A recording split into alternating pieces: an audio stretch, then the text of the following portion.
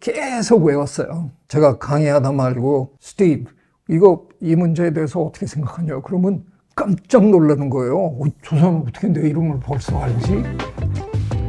이화여대 에코과학부에서 학생들을 가르치고 있습니다. 생명다양성재단도 이끌고 있습니다. 최재천 교수입니다.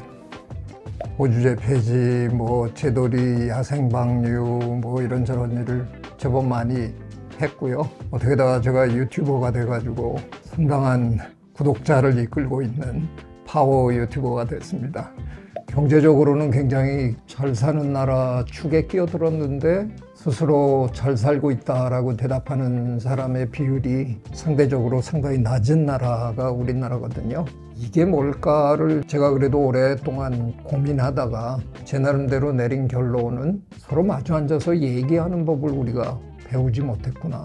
그것만 조금 할 줄 알면 이런 많은 갈등들이 쉽게 풀려나갈 수도 있겠다. 그런 얘기들을 좀 하기 위해서 책을 낸 거죠. 이 많은 갈등 속에서 대화와 소통을 통해서 해결하는 그런 책 세 권을 오늘 소개하려고 합니다. 상대의 이름을 기억하고 꼭 불러줘라. 제일 먼저 소개하고 싶은 책은 게일 카네기 인간관계론이라는 책인데요. 미국 사람들이 제일 많이 사서 집에 비치해 놓은 책이 성경책이거든요. 성경책 다음으로 많이 팔린 책이다. 뭐 이런 소문이 있을 정도로 정말 많은 사람들이 소유하고 있고 또 읽고 있고 그런 책인데요. 책에 보면 우리는 심지어 강아지에게도 예쁜 이름을 지어준다라는 대목이 나와요. 상대방을 대접할 때 이름을 기억하지 못한다든가 아니면 이름을 불러주지 않으면 제대로 된 대접이 안 되잖아요. 이분이 그래서 심지어는 강아지도 예쁜 이름이 있는데 상대의 이름을 기억하고 꼭 불러줘라. 서로의 소통에 첫 관문을 여는데 굉장히 유리하다는 거죠. 제가 이제 미국에서 처음 학생들을 가르치기 시작할 때 영어가 아무래도 미국 사람만큼 안 될 거 아니에요. 만회하는 방법이 뭘까를 고민하다가 첫 시간에 부탁을 합니다. 학생들에게. 앞으로 한 일주일, 이주일 정도는 지금 앉은 자리에 그냥 계속 좀 앉아달라. 폴라로이드 카메라 가지고 반을 찍어요. 제 책상 앞에 그 사진을 붙여놓고 그 얼굴 밑에다가 걔네들 이름을 다 적어놨어요. 계속 외웠어요. 제가 강의하다 말고 스티브 이거 이 문제에 대해서 어떻게 생각하냐 그러면 깜짝 놀라는 거예요. 어, 저 사람 어떻게 내 이름을 벌써 알지? 그런 전략을 통해서 학생들과 아주 그냥 학기 초부터 굉장히 가까운 느낌이 나도록 시작했는데 우수 강의자상 뭐 이런 걸 여러 번 탔거든요. 괜히 자기한테 따뜻하게 해줬다 그 기억이 나면 점수 잘 줄 거 아니에요. 그게 바로 인간관계론이거든요. 어, 저는 이 책은 그냥 처음부터 끝까지 막 읽는 건 별로 도움이 안 된다고 생각하고요. 스마트폰 대신 이 책을 침대 곁에다 두고 자기 전에 그냥 한 꼭지씩만 읽으면서 그래 내일은 내가 이런 점을 조금 염두에 두면서 한 번씩 살아봐야 되겠다. 그렇게 자꾸 자기 훈련을 하다 보면 어느 날 성공하는 삶을 살게 되지 않을까 그런 생각합니다. 두 번째로 소개할 책은요. 협력의 역설이라는 책인데요. 원저의 제목은 Collaborating with Enemies라는 책이에요. 적과 협업하기. 말도 안 되는 얘기를 쓴 거잖아요. 근데 제목에 있듯이 역설적으로 적하고 협업할 수 있으면 이 세상에 협업 못할 존재는 없는 거죠. 어려운 상황, 에 어떻게 협업을 이끌어내느냐 얇은 책이지만 내용은 참 귀한 그런 정보들이 책에 담겨 있다고 생각합니다. 우리가 생각하는 적이라는 게 나랑 마음도 안 맞고 이념도 다르고 뭐 이런 사람들 뭐 저라고 없었겠어요. 모든 게 협력으로 끝날 거라고 기대하는 것 자체가 벌써 틀렸다라고 얘기하거든요. 어떤 건 협력이 안 되는 거예요. 그럴 때는 깔아뭉개면서라도 이끌고 가야 되는 거고 도저히 저 방도가 없다. 그러면 대의를 위해서 져주는 것도 방법일 인 거예요. 전략적으로 덤벼 들어야 된다는 거죠. 스트레치 협력이라는 표현을 이제 카헨이 만들어낸 표현인데요. 전통적인 협력이라는 건 쌍방이 기꺼이 협력해야 되는 거잖아요.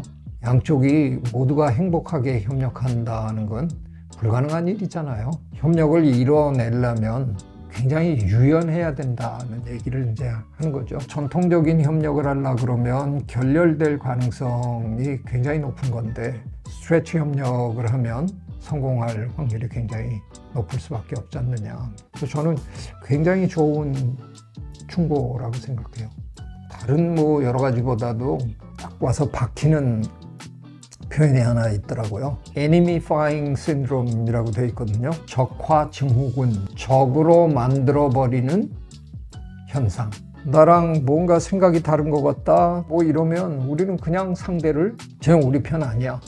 그래 놓고 일을 시작하는 경향이 너무 많다는 거죠. 그게 우리가 협력을 이끌어내는 가장 큰 걸림돌인 것 같아요. 우리 사회의 그런 분위기는 정말 팽배 해 있잖아요. 그런 경험을 하신 분이라면 누구든 이 책을 읽으시면 반성하게 되실 거고요. 아마 새로운 방법론을 깨닫게 되시리라고 생각합니다. 숙론이라는 조금은 생경한 제목으로 제가 쓴 책입니다. 우리 대한민국이 어느덧 굉장히 많은 부문에서 정말 세계적인 수준에 올랐다고 생각하거든요. 그런데 이상하게 한 가지 죽어라고 못하는 게 있는 것 같아요. 마주 앉아서 얘기하면서 합의를 도출해내는 그것만 우리가 조금만 할 수 있게 되면 우리나라의 이런 수준이 하루아침에 도약할 거다 하는 생각으로 쓴 책입니다. 이것부터 생각하시면 돼요. 노래하는 새들은 다 수컷이거든요. 수컷이 아름답게 노래를 하면 암컷 새가 찾아와서 짝짓기를 한다. 그러면 수컷이 그냥 노래만 하면 암컷들이 와야 된다는 생각인데 수컷들은 그렇게 왜 매일 노래하고 있을까요? 가능성은 뭐냐? 암컷 아무도 안 오셨다. 암컷들은 왜 안 올까요? 누가 노래를 잘하나?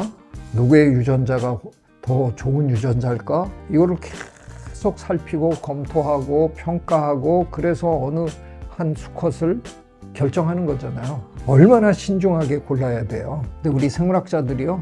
되게 오랫동안 그 관계를 막연히 상호 협력적인 관계로 그냥 이해했어요. 근데 이기적 유전자라는 책을 쓴 리처드 더킨스가 소통은 일방적이다.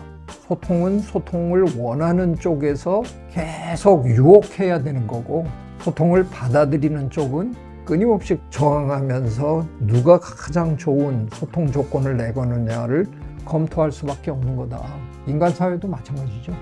소통은 어려운 거고 안 되는 거지만 되게끔 하기 위해서 우리가 뭘 해야 되느냐를 고민하자. 그게 이제 답은 숙론인 거죠. 영어의 디스커션은 who is right, 누가 옳으냐를 결정하는 게 아니라 what is right, 무엇이 옳은가를 함께 찾아가는 과정이다. 이렇게 설명하거든요. 근데 우리, 우리나라에서 벌어지는 토론은 토론이 아니에요. 그냥 말싸움, 언쟁. 토론은 남의 얘기를 들으면서 자기 생각을 다듬어 가는 게 그게 토론의 목적이거든요. 근데 우리는 그럴 생각이 전혀 없어요. 아쉬워요. 그런 걸 못하는 게. 못하는 이유가 뭘까를 굉장히 오랫동안 고민을 해봤는데 우린 배운 적이 없는 거예요. 그러다 보니 사회에 나와서 갑자기 합의를 도출해라 그러는데 우리는 할 줄을 모르는 거죠. 근데 그게 저는 이제 조금씩 나아지고 있다고 생각해요. 성인이 돼서 저 뒤늦게 지금 배우면서 숙론의 장애 경험들을 지금 조금씩 조금씩 하고 있는 걸 제가 관찰하고 있습니다. 그래서 그런 분들에게 책을 다 권유하고 싶고요. 정말 제대로 된 숙론을 하기 시작하면 저는 대한민국 사회에 참 많이 달라질 거라고 생각합니다. 세 권의 책을 여러분에게 소개해 드렸는데요. 제 책은 직접 사인해서 여러분에게 선물로 드리겠습니다.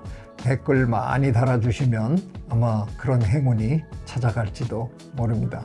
소통을 통해서 협력을 이끌어내야 되는데 그 방법론이 숙론입니다 하고 제가 얘기 드린 것 같아서 좋았습니다. 즐거웠습니다. 고맙습니다. 당신이 책을 읽어야 하는 이유는 코끼리다. 좀 뜬금없는 얘기죠. 코끼리 변 보는 장면 보신 적 있으세요? 어마어마하거든요. 들어간 게 있어야 나오죠. 좋은 글을 쓰고 싶고 남들에게 좋은 얘기를 하고 싶다 그러면 많이 읽으셔야 됩니다.